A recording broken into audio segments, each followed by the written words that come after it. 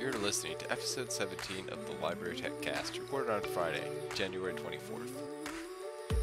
This podcast is a proud member of the Tech Podcast Network. If it's tech, it's here. Listen to other great tech podcasts at www.techpodcasts.com. This episode of the Library Tech Cast is powered by DigitalOcean. Visit librarytechcast.com forward slash DigitalOcean for more information. Welcome to episode 17 of the Library Tech Cast. We have our special guest today, Michael Schofield, with us, and uh, my name is Jeff Sable, uh, reference and instruction librarian at Concordia University, and uh, all-around tech guru for the library, which is not saying much. um, I'll throw it over to my co-host Riley Childs, and he'll introduce himself. Hello, um, my name is Riley Childs. I am the IT guy and library manager and library technologies guy at Charlotte United Christian Academy. I do I manage their library and am uh, just trying to get the their library into the 21st century, and also manage the school's network um, and do all that fun stuff there. And I'm also a student there. I have a lot on my plate. But uh, our special guest, Michael Schofield, take it away. Go ahead and introduce yourself. Hey, I'm Michael Schofield. I am uh, I'm the uh, the front end librarian at the Sherman Library in Fort Lauderdale, where it's presently 70 degrees. So You're lucky. It's yeah, like it's ridiculously cold here. Um, I, very I take every opportunity to like rub it in, you know. so, I'm like, oh, burr, it's 65 degrees, at two in the morning. Okay. Um, but yeah, I mean, uh, let's go ahead. Let's just scoot on in to our fantastic show. Um, the first thing that we want to discuss is a while back we talked about makerspaces in libraries, and the Toronto Public Library is actually on, starting to have such things in libraries, and I mean it's they're they're going to get the whole 3D printer tech technology. Sorry, I'm turning to the left there. Um, and they're going to have a MakerBot, and it's sounds pretty cool. And I'm excited because I'm starting to. s- Uh,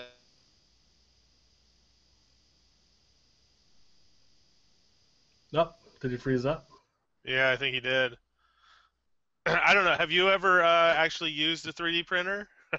Yeah, I have. Um, they uh, they're really cool.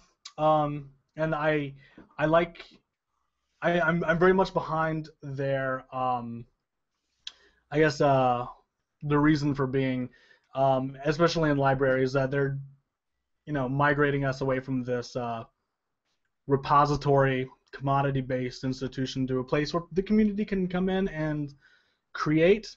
I like that the 3D printers I use aren't you know aren't weren't too hardcore. Like we could um, like we made uh, plastic whistles and and stuff out of it, but um, but they're getting better and um, and it's been a while and uh, and you can make everything. I really like the idea that um, on the on the article that we were reading or that's that it's linked to, um, it suggests um, use for if you come in because you've like broken or you lost your uh, your iPhone case or like the back of a remote, um, things like this that you you know in the past that you just uh, have to deal with. Or I'm thinking especially about the remote. You know, you might like tape it up to keep the batteries in there.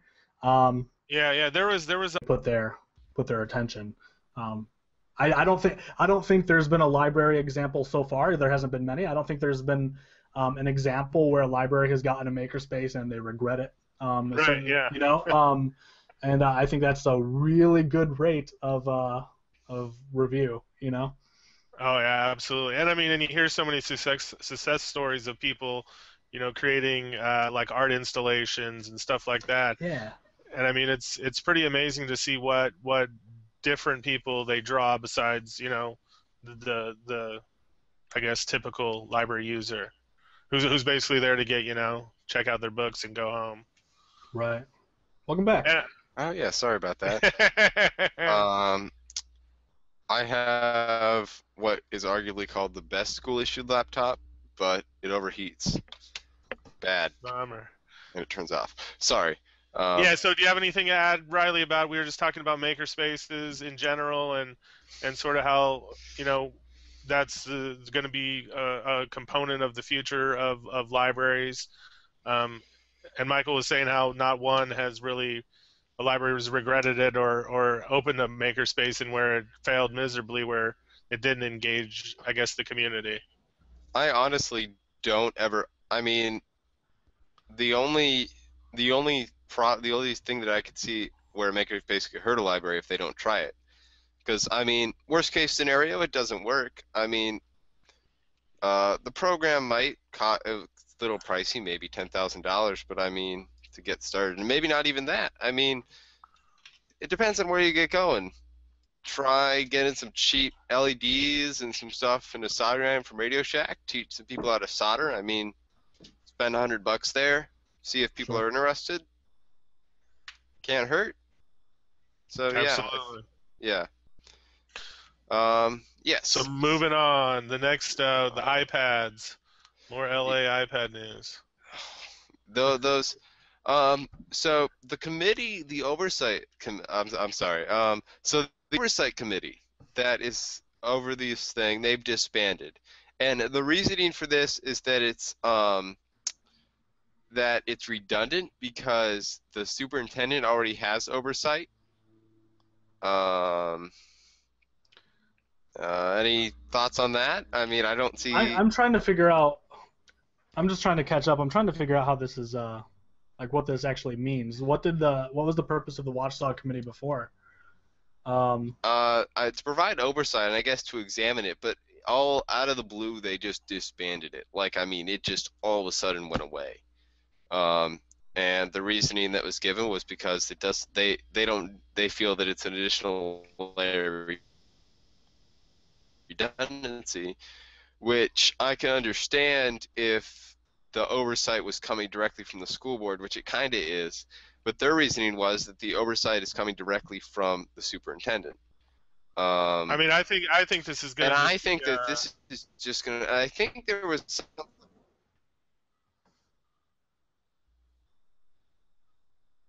bad. Yeah. yeah, you don't- you probably don't know this, but you're Oh. like your mic is cutting out in really Oh, funny wait. ways. Did, did you go away? Ah. Yeah, it just it just like froze up. Um, all we got was that you think this is bad. Yeah. Um. I need to. My prediction go- is, is is is eventually. I mean, this is basically just a stop measure before I'm uh, there's going to be some kind of investigation. Is my is my prediction, which was my prediction last week that it's going to come out that there was some kind of bribery or someone's going to be indicted or something. Um, just because it's just been such a miserable failure. The the head technology officer resigned immediately once they began investigating this this debacle, and um, yeah, I mean I think it's just going to turn into a huge story of corruption and iPads in the classroom. So any anybody else have anything to add? Um, we can move on to the next. No, We that's can all I got. I don't have anything to add. yeah, so we want to move on. Uh, the RFID and libraries. Yeah. Um. This is Next. This uh. I'm sorry. Go ahead. I'm just saying this is cool. I'm excited for this one. So. Yep. Did it freeze up again? Riley. Yeah. Go ahead, Jeff. Oh yeah, go go ahead. Oh yeah. Do you hear me? Uh huh. Yeah, yeah. Oh. Okay. I'm gonna have to call Logitech about this. I'm not happy. Okay. But hopefully you can still hear me. Am I cutting out? Okay. If Nope, I'm not not cutting out, You're good. let me just kind of explain what this is all about. Okay, cool. Back. Um, so the Rochester Public Library is in the process of putting RFID tags on all of their um, on all of their DVDs and CDs and that's and Blu-ray discs, discs and all that stuff. And then eventually they're going to start to move on to um, the books and their ultimate goal is to by the end of 2015 is to have all 430,000 books in the library available with RFID tags. And it says that the total cost of this is uh, 200 about $200,000, which actually doesn't sound too pricey. Um, I'm not sure about either of you, but I mean, depending on the size, I mean, a public library that size, that doesn't sound too bad. I mean, that's 50 cents a book. Yeah, I mean, I, I mean, I think it's a, a huge upfront cost. I mean, where you figure you already have some kind of security system in place. But if you look at how much loss prevention, how much convenience um, that these contribute, I, I do think it's it's relatively inexpensive. If you sort of space it out, if you know, if you have zero missing books after 10 years, um, it probably, you know, you, you make an argument that it pays for itself. Yeah. I agree. I think this is a. You're right. I'm a. It's. It seems pricey to to me, but um, but the um. This I this is I think this is also going to have a couple things that might be harder to measure. One, um, you're going to uh, it's part of it's an investment in the user experience, and uh, you know people think about it. A lot of people, so, there, there's sometimes a rare anecdotal person who really likes to engage with the person at the counter um, I'm certainly not one of them. It's just like when I shop, I, if there is a self checkout line, I will Yeah, self checkout. yeah. If I don't even have to check out, if I could just walk through a scanner, I'd, I'd much prefer it. Um, the um, the other thing is that the more secure they feel in uh, you know that they're that they're going to prevent loss, um, hopefully the the more unique things they can circulate. Um, you know, thinking about tool libraries or um, or like hard you know hard software and stuff like or even machines. Um, you know, I, I think it, it- you know if they, if they if they only use it just like for their books, and they don't use it to take a chance, then it'll be silly. But um, but I think it's cool. I think there's a really neat future in RFIDs. Um, I I don't I don't know if I foresee this, but I'm really amused by the idea of um, at some point everything has an RFID. You no longer need cataloging, or you no longer need like shelving protocols. Like you can just put something on a shelf, um, and then you this is you know far future, not maybe not too far future, but then you uh, you're looking for an item and it tells you where it is and where it is in proximity to you. Um, this is something that um, Cory Doctorow like I think first wrote about. I'm sorry, I'm sure he didn't first write about it, but in his book Makers, where they just had a bunch of tub and they had a bunch of all this stuff. Think about maker spaces and you might have or hacker spaces and you have all this crap. You have like random tools. You have uh, like how are you going to catalog like um, a casing for like a computer that's just that you just picked up, right? Um, you could just throw it into tubs and then you could uh, whatever you're looking for, you locate. Maybe maybe the tub blinks blue or something to show you where it is. I think there's a lot of future future neatness to to this. Um, that's how I like to. That's how I prefer to think of things because right now the present isn't that interesting, but uh, um, But I mean, there's already even been programs where uh, you know there's geolocation like within the building, within 10 feet of Yeah. like R- RFID book. So basically, on your phone, you could look up a book and it'll direct you right there within 10 feet. So, I mean, it's not perfect yet, but I think it's getting a lot, a lot. Uh, uh, like like you said, like the future would be, you, you do really need uh, cataloging schemes to to catalog to you know place books on shelves when you have something that'll tell you you know if you get within a foot maybe you know then you'll it's almost impossible not to find the book Well, one of the other things is this would also have a big impact behind the scenes. Um, because one of the things that I think David Singleton mentioned last week was about how rather than having the books sit in a book drop overnight, think about if I put a book in that book drop, it's going, it could, when it hits the bottom of that book drop, it could theoretically be check, check itself in. And then that means that, um, I mean, that that alleviates one step of the process and that allows the book to get onto the shelf faster.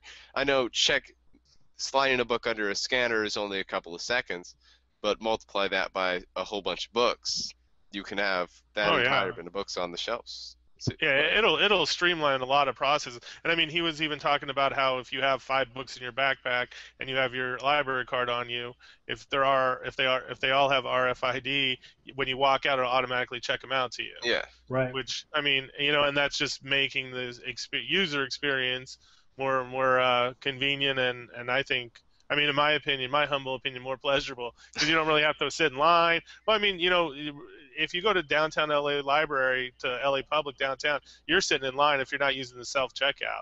I mean, and maybe for 10, 15 minutes just because they're sitting online. Yeah, I mean, I'm, I'm, and not only that, it's, I mean, it's just kind of, it was just kind of neat to be able to have it like a speed pass, just be able to put slide, put your card on the thing, even check your books out. And the main reason they gave in this article is that they wanted to move is for patron convenience, is because Sure. what ha- was happening was is at their at their self checks and um, the books weren't scanning properly, and the patrons didn't know how to use the barcode scanner. So you might run into a situation where it does the book doesn't get get checked out or something like that, and that saves on lost items, like you were saying. Um, but yeah, I mean that it's just going to be interesting to see how that goes going forward. And on something that ended up and moving on, any last thoughts on that, anyone? Nope. Okay. Now let's move on. Okay, move it on. Um, every something that is near and dear to the service that is near and dear to everyone's hearts, known as Overdrive, is going moving to DRM MP3s. Um, I and I, I think it's not quite. Uh, Did I read that right? It's not Yeah, quite so- DRM free. so so boing boing um got really excited and i think we all got excited i certainly got excited because i shared it everywhere um, i was like yay um, but basically what they're doing is they're um, they're they're getting away of um, they're uh, they're getting away of like uh, Windows format phones like the WMA files, the Zune files, uh, things like that.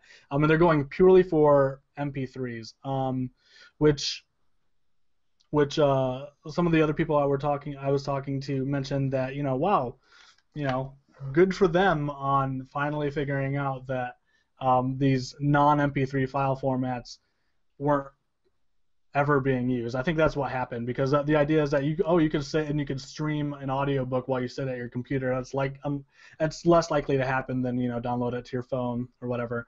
But the DRM is still there. The DRM is not at the I guess what I'd call like the file level. The MP3 is you could you can make a local copy of it and nothing will happen. But as long as you're um, adhering to the terms of service, um, the uh, and you have like the overdrive client open, it will, you know, once the checkup period is over, it'll still prompt you to delete all the files. But um, it's certainly a lot, it's certainly a lot easier to steal the files, you know, and, and I'm sure I'll do it. Um, but uh, the the basically the um, the headline was uh, a lot more exciting than I think the reality is. And um, Overdrive actually tweeted uh, at Boing Boing, and they're like, "Hey Boing Boing." It was like actually Overdrive still has DRM, and, uh, and and they seemed really proud of it. Um, I'll uh, I'll hook you guys up with the actual tweet um, when I uh, pull it up. But um, but it's it's a big like really hullabaloo about nothing. Basically, the result is they're they're getting rid of like the WMA file format. So any of you out there using WMA file formats, sorry, too bad. Um, but I mean, who's who's still using that except for like the sample videos that come with? Actually, no, those are MP4s. The sample videos that come with um, the sample sounds that come with Windows. Those are actually M- MP3s. Uh, I don't know. I I, cer- I certainly never used it. I never have. It's, it's like those services. Oh, like open up. Uh, you can read the audiobook through like Adobe. Uh, oh Adobe yeah. something. You can read it on your screen, or Who's gonna do that I, though? I, I don't know. Um, I guess if you're desperate, um, or if you really like to sit at your computer and read. But you know that's uh. That's I remember. I remember the early days of, of this stuff when I thought I was cool, and I was. I mean, like 2006, and I was sitting at my computer reading my, uh, reading my algebra book or what, reading my uh, whatever book from Overdrive, and I was like seven. right, right. I mean, I I, I do read I do read some like uh, like technical books at work that I have in like I think it's Adobe Adobe Digital Editions or something. Yeah, That, that's, um, what yeah. the program is here. Yeah, and I mean I I mean I don't I don't mind it really. I mean, but I mean I'm not going to sit there and read a novel at my computer. I It think re- I think reading on your screen is a lot more uh, likely than listening to like an a full audiobook on your screen. If you think about Yeah. like, oh, I want to pick up where I left off, you have to go to your computer to do that. Um, maybe that was true like when Overdrive first came out, but I think now, you know, we Yeah. got phones that can Right, do this yeah, for us. You know, we can walk around and do it. Um, Yeah. Um, but yeah, so I mean, congratulations to Overdrive for being a little less douchey, I guess. The, um, um, sure. but it's you know it's maybe plus half a point toward the copy fight. Um, but I don't think anything's changed a whole lot. the they we still have the fact that um, yeah, they they still have the fact that each audiobook you buy is considered an individual book and all that good stuff there. And we're gonna need to work on that on overdrive, but you're getting there. I, I think Um, that I, we we could dedicate a whole show to like the vendor licenses. Um, Yeah. You know, Overdrive can and does. Let's be honest, screw libraries because there really isn't competition. I mean, there's more of Overdrive-like companies coming out, but um, you well, know, I mean, they captured 99% of the market. I mean, a Sure. public library. Um, and you know what? The, like the like what's in their bag is that people, at least people at our place, um, love it. So you know the, all the all the concerns that librarians have, and the fact that it's costing libraries a lot of money, and there's no like first use doctrine because you don't own these, um, and so you can't, you know, you have to buy re- repurchase a license to uh, circulate over a certain amount of times. Um, users don't really care because they're like, hey, I can just pull this down on my Kindle, yay. Um, and that's that's kind of a, a big boon in Overdrive's hands. Um, the San Rafael library, uh, run by the who's the, the director is uh, Sarah Houghton, the um, the librarian in black. She um, they do something cool. I, I think more libraries should do it. This is my little bit of soapbox, and I'm gonna get off. Um, they make it so that when you click onto Overdrive, there's a pop-up on the website that says, "Yo, you know all that." Uh, I'm sure it's not like "Yo," but it's like, "Yo, um, you know all that." Um, all, you know all the concern that libraries have about like your privacy and like how much we care about you. I'm sure it doesn't say that. It's basically saying like, hey, you're going off to a corporation site and they're not going to protect your privacy. They're gonna like data mine this. Um, and the the circumstances that they put us in aren't all that great.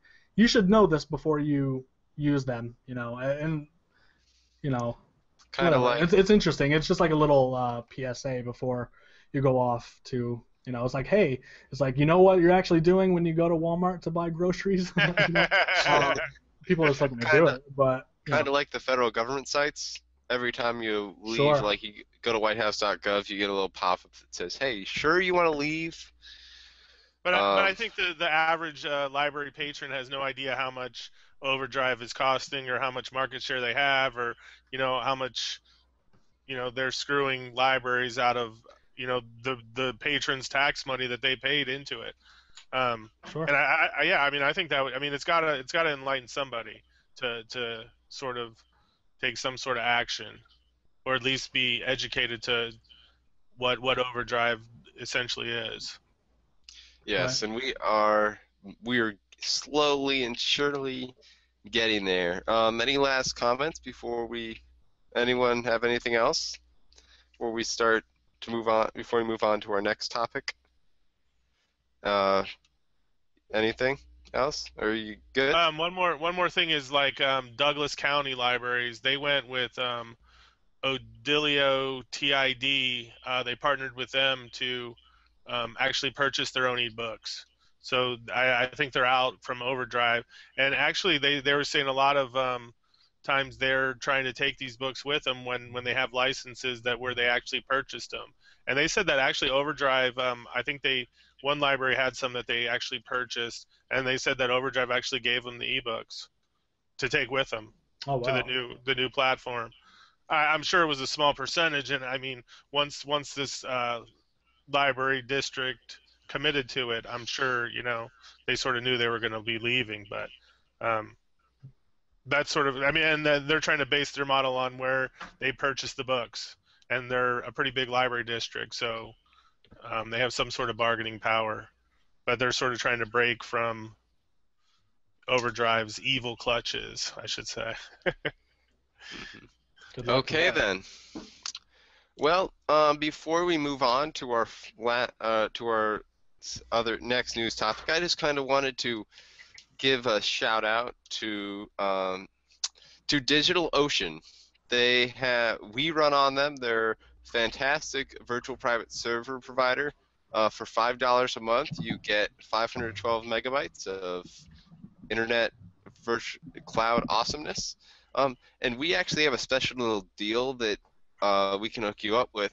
If you go to librarytechcast.com forward slash DigitalOcean, sign up for an account. Um, uh, ju- that just lets them know that we sent you. And then if you go slide into their cloud panel, click on billing, all the way down at the bottom, or um, it's uh, billing, manage payments. There'll be a, I'll post a little on the show notes about how to get there. Um, all the way down at the bottom, it has a space where you can put in a promo code. And that promo code you should put in is SSD 2014. And that that gives you $10. A $10 credit. Don't have to put in a credit card. No, it's basically no strings attached. Um, just a great way to help support us, pay for our web hosting. Um, and, and if you're if you're interested in uh, like something like an open source like Koha that or Koha, that's a great way to um, sort of install it and check it out. Yeah, there's actually a great guide written by yours truly on their community, um, all about how to install Koha on one of their VPSs. And I mean, you don't really have anything to lose. Just go ahead, check it out um, using our link because we get credit for that because we sent you. Um, but I mean, that would just be great to help us out. Uh, but that's enough, I guess, for now. Moving on to the uh, our final topic.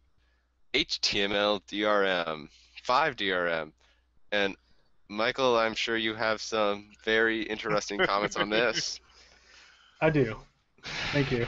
Thank you for the Yeah. thank you for the No, intro. I The, um, that, and I mean, and I mean, I'm, hype man. I I mean, this is one of the. I'm, I mean, I'm sorry. It's just you're the one who put this in, and I mean, I I was, did. I, had no idea. I'm, and I'm sure like no one had any that's, idea. That's so I've been kind of um I've been talking about this for like the last couple of weeks and I'm sure ad nauseum. Um but um but the reason that you know I drew threw it in there is precisely because that there's this vacuum. Um, librarians are especially you know I mean we have a logo librarians against DRM. There are people who have this tattooed on them, right? Um, this is a um, this is a mantra of what librarians largely stand against. Um, and a lot of people aren't don't realize that there's this uh, that that DRM is already in the process of coming into uh, the native browser level. So um, what happened is uh, in uh, I believe it was like October, I think it was in October 2012. Um, Tim Berners-Lee, the creator of the internet, um, and the W3C, um, the standards body for um, for HTML5, and um, they what they uh, what they did is they they they they proposed something ca- in addition uh, uh, an extension to HTML5 called the encrypted media extension, and this is at the pressure of um, uh, companies that that um, someone someone called the Holly Web. It's Hollywood and the web. It's I love that term, but the idea that it's like think of it like Netflix. And right now, when you want to stream Netflix in your browser, they you have to download uh, Microsoft Silverlight. I don't even think it's Flash. Other companies that want to lock down their content are using Flash. So they go to the they go to the W3C, and they say, hey, um, we don't want to be beholden to these third-party plugins anymore. HTML5 is already um, getting away from Flash. It's you know uh, you, you can do what you used to be able to do in Flash. You can pretty much do with like CSS3 and uh, JavaScript. Um, we no longer want to have to force people to download Silverlight. We don't want to be beholden to these other companies like Adobe and Microsoft. There should be a spec in HTML5 that lets us do it. And the W3C says, they say, well, why? Uh, why, why should we? And the Hollyweb says, well, because if you don't, we are going to take our content, our streaming video, elsewhere. Well, the W3C took that bait. The what's funny is like, where are they gonna go? They're gonna leave the internet. Um, right. the um the they took that bait I think it's bait. Uh, like there are a lot of people who think it's a good thing. But what what the encrypted media extension does is create a native browser-level JavaScript API that essentially communicates with something else. Sorry if this is getting too technical. It's called the the EME communi- is just an API that communicates with another part of software or of the spec called uh, CDM, uh, the Content Decryption Module. Um, and that's another that's something else that lives in your browser or on your computer. And these things talk to each other to say, hey, does uh, the EME says, hey, does this person have the right to watch this video from Netflix? And the CDM says, yes. Here's the here's the secret key, and it decrypts, and you can watch your video. What's troubling? There's there's different things that you know I'm certainly troubled about, um, and you guys feel free to weigh in. Um, the only way for DRM, or there's the first thing is that the W3C is an open standards body, right? Um, there's nothing about the web that isn't open source. Um, if there were to be a new, uh, like, if somewhere out there in, in high school there is a, a young Tim Berners-Lee, and he's going to want to go and create his own browser, right? Or someone who is going to want to spin off something that's not Firefox or Chrome, something new. Um, the way the DCMA, the, the Digital Millennium Copyright Act, or in Europe the EUCD, I'm not sure which one that stands for, um, but they make it illegal to um, to violate DRM, um, to get around DRM. So the DRM licensing bodies um, make it so that if you want, oh, what I was trying to say is like basically, like so the W3C is an open standard, and there's nothing, and and the the DRM part of it is secret, necessarily secret, right? Because otherwise other people would just get around it. Um, so the the content they don't define what this the content decryption module is. It could be anything. It could be a piece of hardware. Um, so for somebody to who wants to be innovative and they create their own browser or whatever, they're going to have to enter agreements with a DRM licensing bodies, probably pay a fee or whatever, because it's illegal to otherwise, without their permission, um, recreate the web to get around DRM. You can't you can't make extensions to it. You can't change it. You can't learn about it. Um, That's stupid. about uh yeah and so there's there's something that just like kind of like stomps innovation the other thing that's really disturbing that took me a long time to say that so the other thing that's really disturbing is that for drm to work you need something native on your computer that you don't know about uh, monitoring your acceptable use of the files right so this is something right now that's um, in the html5 spec that is probably uh, it it might be hardware. It might be like a USB you have to plug in, but probably not. It's probably going to be software that lives in your browser and monitors your acceptable use of like the Netflix files, right?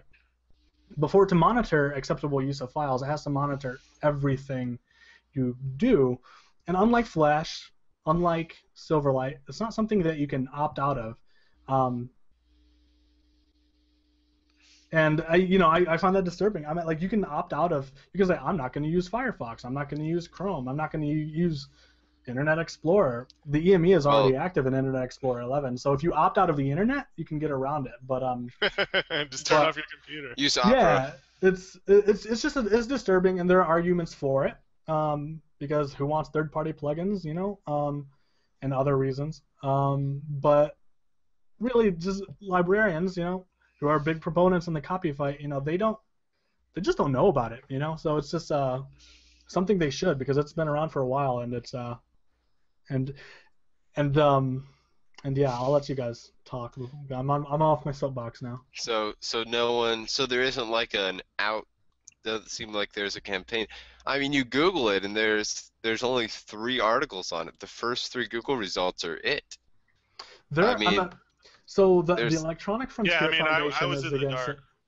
Yeah, Yeah. I mean, the Electronic Frontier Foundation is trying to is trying to do that, or is trying to bring light to the issue. Um, HTML5 rocks, uh, which creates the HTML5 boilerplate and all that. I think. Um, anyway, they posted a really great, very technical intro to the EME, like how you would actually use it in code. Um, and they and they created a Google Doc that has tons of articles, pro and con.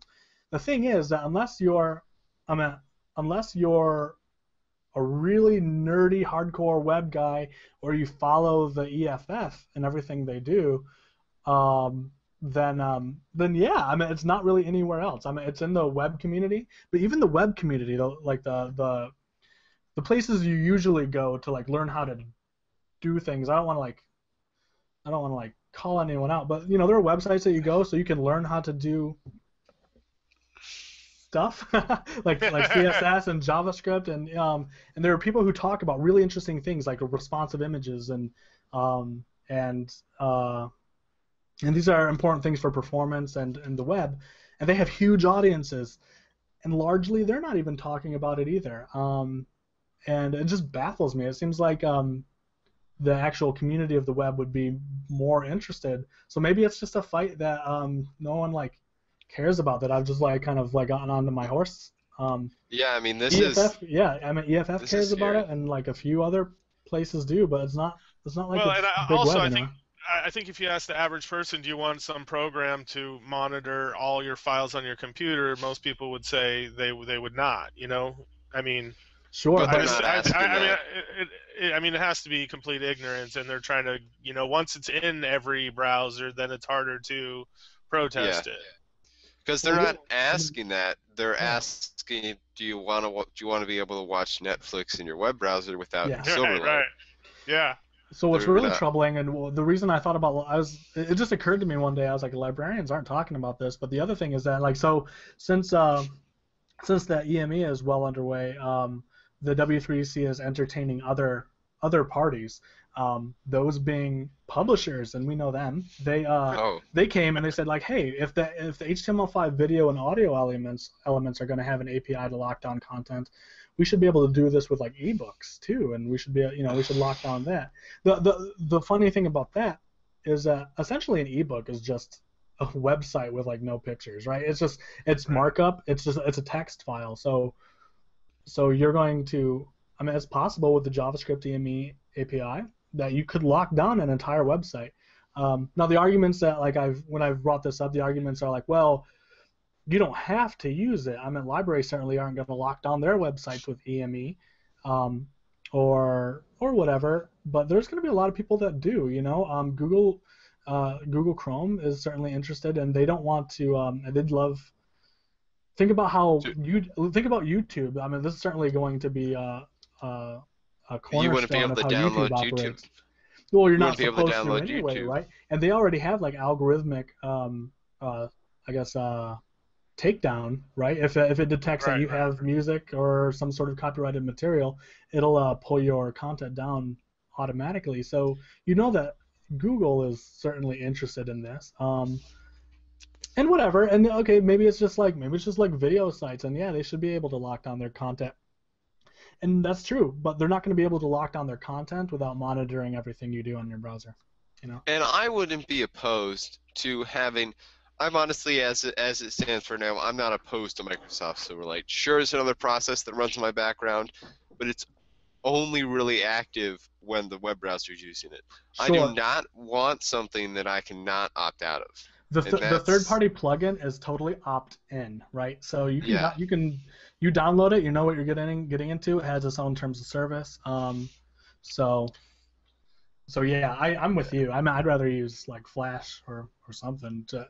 And to- what does this mean for um, open source? Because you know, Cro- the Chromium, Chrome, whatever it is, I don't So- know, is never gonna. The open source version of Google Chrome is never gonna be able to implement this because, in theory, it's a closed door thing. It's not something that the algorithm Correct. is not something that you can. Correct. So there's another source. there's another open source browser called Firefox, right? They're they're part they're Yeah. they're really t- um they're really into the free open source software movement and fundamentally like the DRM it one like It doesn't Fire. Firefox has already like said that they're going to do this. Um, Mozilla is back on it and and and the reason I made that whole spiel at the beginning is because their exact reasoning was like, well, if we don't if we don't do this and people lose Netflix or whatever, we're going to lo- we're going to lose a large market share to another browser.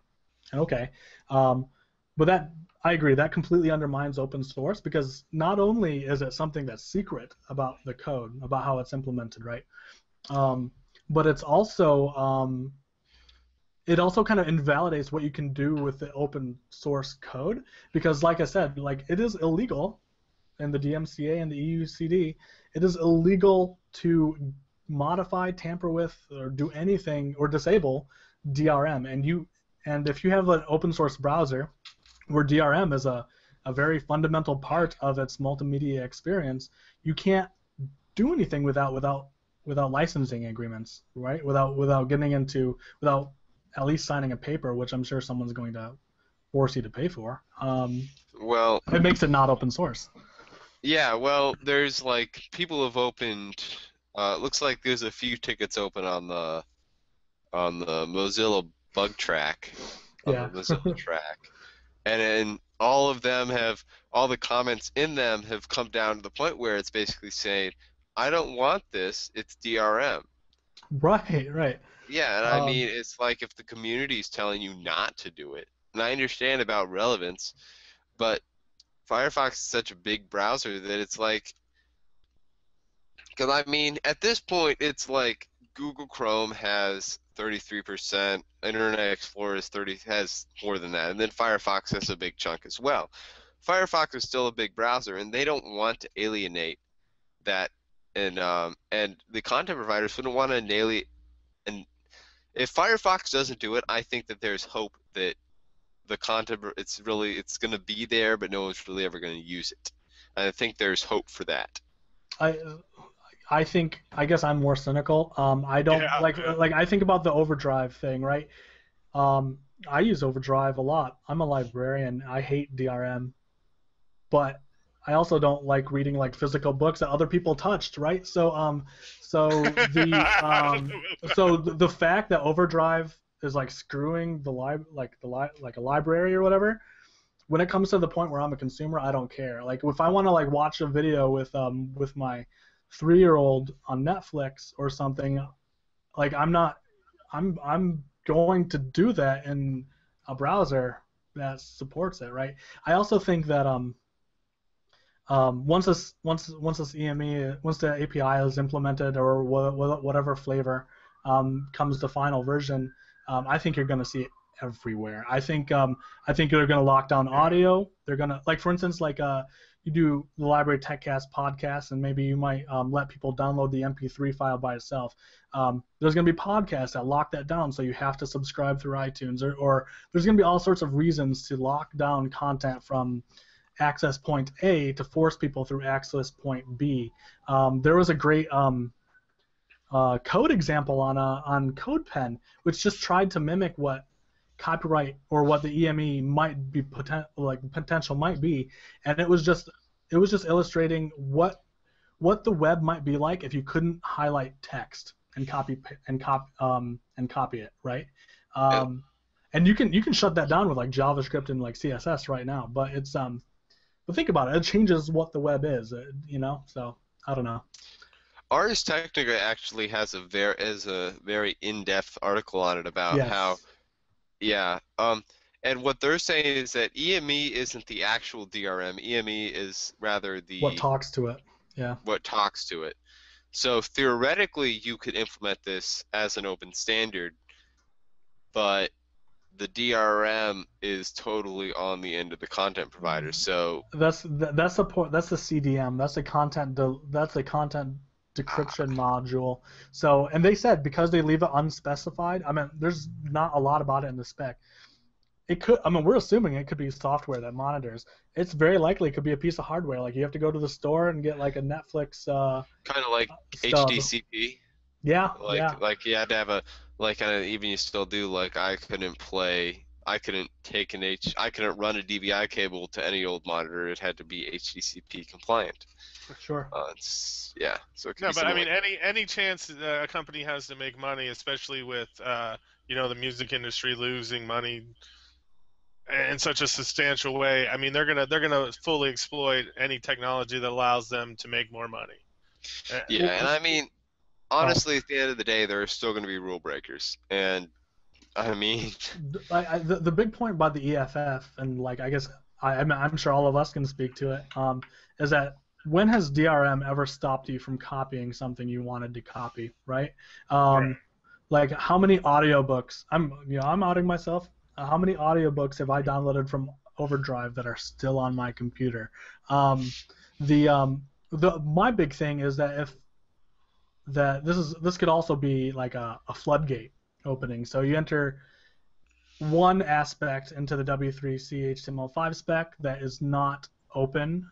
Um, there will be more, you know. Um, so I mean, it's just uh, you're handing the you're handing the reins of control over to you know like the, the W3C has been a good um, shepherd for essentially like the you know uh, the openness of the web, and I think they're giving it away. You know, I think they're giving a part of that away. Um, so you know, it's it's a big deal, and there just should be a conversation about it, and there just isn't one. You know. And it, yeah, and it's and like you said, it's it's the foot in the door at the at the HTML spec. It, there, it's just this one thing, but who knows? Maybe in a year, there's this great. We could do this, or we could Sure. do this, and before you know it, to get um, HTML is back to where it was in 1995 with Microsoft versus Netscape, and the Internet Explorer bundling.